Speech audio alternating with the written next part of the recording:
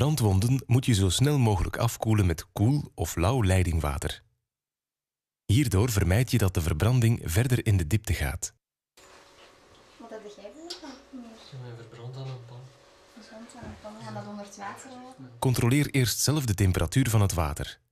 Vermijd om heel koud water te gebruiken. Begin met koud water. Pas de temperatuur aan naar wens van het slachtoffer. Gebruik dan water met een aangenamere temperatuur, want een brandwonde moet je lange tijd onder water houden. Let op voor onderkoeling. Richt de waterstraal boven de brandwonde zodat het water over de wonde vloeit.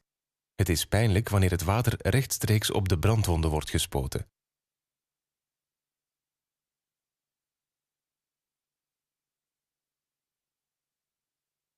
Blijf afkoelen totdat de pijn verlicht is.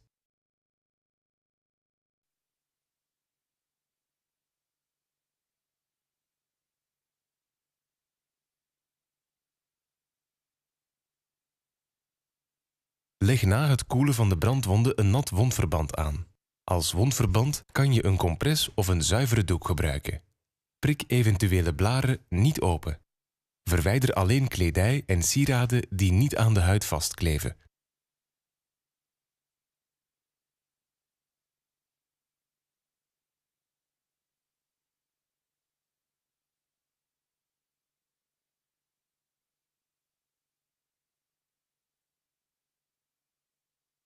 Bij grote brandwonden plaats je het slachtoffer best onder een douche tot er gespecialiseerde hulp opdaagt.